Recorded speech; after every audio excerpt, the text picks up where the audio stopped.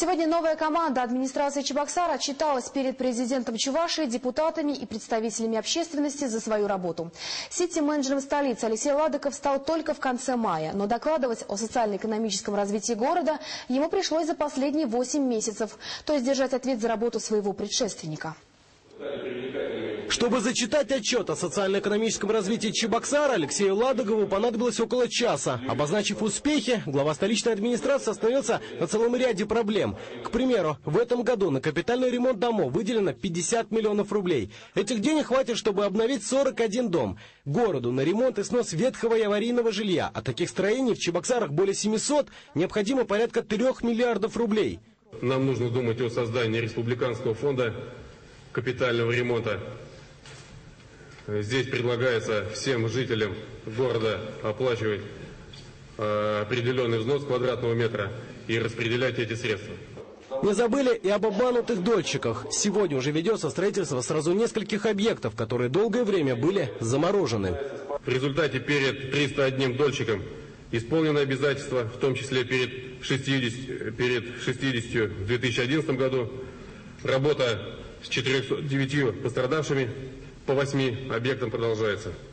По словам Алексея Ладогова, столичная власть не забывает и о другой проблеме – нехватке детских садов. Сегодня в Чебоксарах уже строятся три дошкольных учреждения. Возведение еще двух намечено на следующий год. Генеральный директор строительной компании ТУЗ предложил еще один вариант решения этого вопроса. Решили сделать эксперимент, уже работаем, то есть жилой дом со встроенным детским садиком первые, там, вторые этажи, детский садик, двор. То есть это создает, мы многое в этом получаем. И комфорт, и безопасность. 70% всех налогов республиканского бюджета собираются именно в столице Чуваши, напомнил Алексей Ладогов. В Чебоксарах бизнес наиболее активен.